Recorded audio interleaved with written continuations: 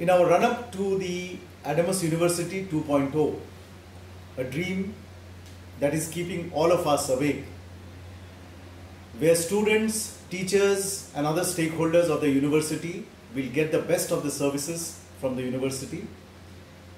SOET, which is the School of Engineering and Technology, is playing a dominant role.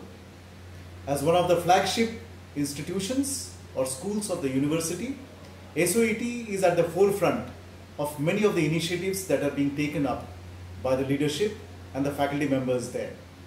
I am so happy that the initiatives that SOET has taken up, and this being one of them, is going to add value to the stakeholders of the school, not only in terms of quality, but also in terms of delivery, in terms of its reach, and in terms of the equity that it wants to spread in the society at large.